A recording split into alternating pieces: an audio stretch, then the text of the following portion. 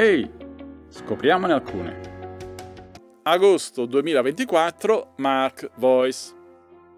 Il significato di Ministerium della Declaratio cercato al di fuori della Declaratio. Questa è la Declaratio di Benedetto XVI. Qui Benedetto XVI ha utilizzato tre volte la parola ministero ministerium. La prima volta che ha utilizzato ministero lo ha spiegato in maniera tecnica. La terza volta che ha utilizzato la parola ministero lo ha spiegato in maniera discorsiva.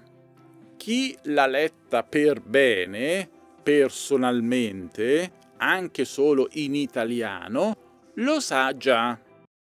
Invece, questo è Andrea di Napoli, che nel video sul canale Codice Runner, Munus e Ministerium quando basta il vocabolario, afferma che lui, per comprendere la parola ministerium della Declaratio, ha utilizzato il vocabolario di latino di Castiglioni Mariotti, in quanto questo vocabolario è per lui la Grundnorm. Grundnorm significa norma fondamentale. Ascoltiamolo dal video a titolo informativo ai minuti 1 e 54 secondi e 16 e 40 secondi.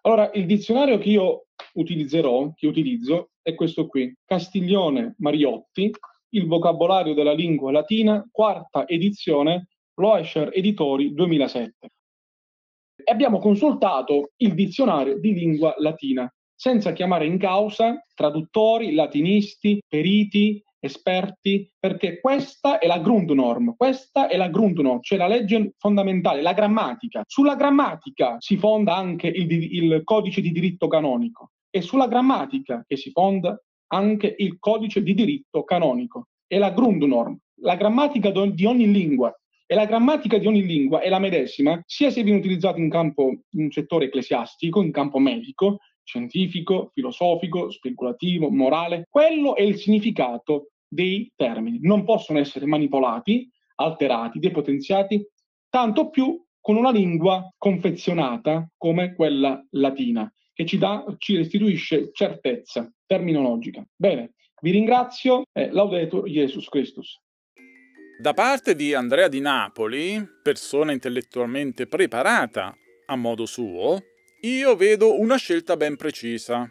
Non ha voluto studiare la Declaratio da cima a fondo, come quasi tutti.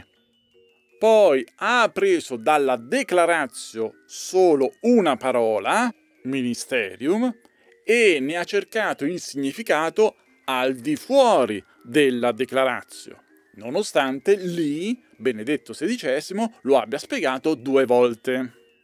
Ha cercato il significato nel vocabolario di Castiglioni e Mariotti.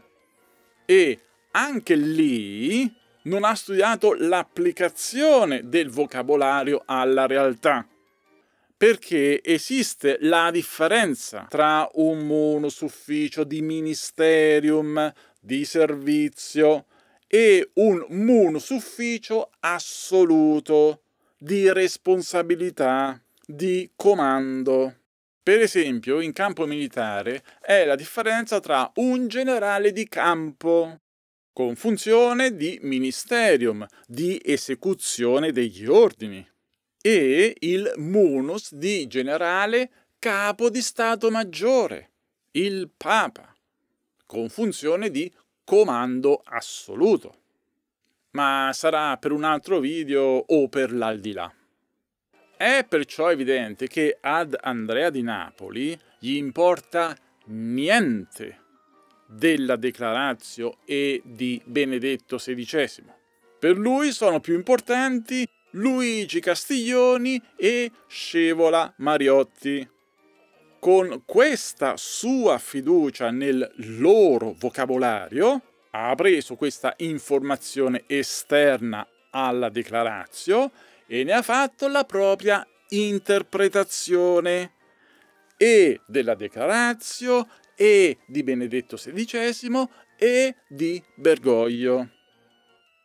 Poi, magari, Andrea di Napoli, quando si mette a discutere, per esempio, dei promessi sposi o della Divina Commedia, fa quello che avrebbe dovuto fare con la Declarazio. Per esempio, fa l'analisi del testo nel contesto, del testo ministero nel contesto della frase. Per esempio, fa l'indagine della vita di Dante Alighieri prima, durante e dopo la scrittura dell'opera. Per esempio, fa l'indagine sugli effetti che Dante Alighieri voleva ottenere con la Divina Commedia, eccetera. Ma con Benedetto XVI e la sua Declarazio, queste cose non le ha fatte. Amen. Buona Declarazio a tutti.